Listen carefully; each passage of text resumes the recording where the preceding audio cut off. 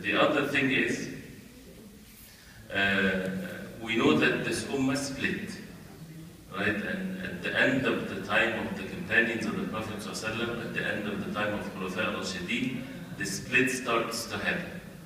Like with the fitna of the Khawarij, right? And the, and the firaq, and the sects. And talking about these sects, Khawarij, al-Mu'tazila, al-Rafida, and the Qadariya and others, it is so important and it's not like someone might say, but these sects are gone, this is history. Why we're talking about it today?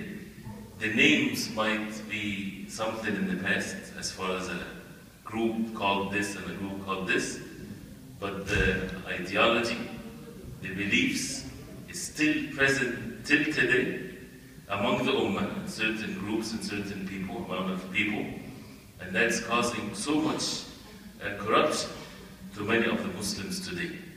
So, and that's why the, the fikr or the ideology of the Khawarij is present, and you see that clearly Muslims uh, saying that it's permissible to kill other Muslims and to call others kuffar and, and to cause so much corruption on earth by the name of the deen, thinking that they are uh, raising the words of Allah subhanahu wa ta'ala up high. They look religious and they look with uh, beard and look like they're applying the sunnah of the Prophet ﷺ, and it's uh, easy to deceive a lot of the youth with uh, beautiful words and things like this, and it's all uh, falsehood and it's all hellfire, right? And we heard before the Prophet ﷺ called the Khawarij Kilabu Ahl the dogs of the hellfire. It's such a serious one.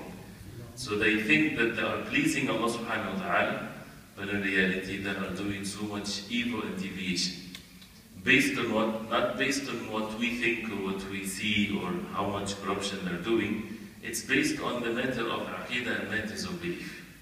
Uh, based on the Quran and the Sunnah of the Prophet So that ideology is still present and it keeps on coming uh, once in a while.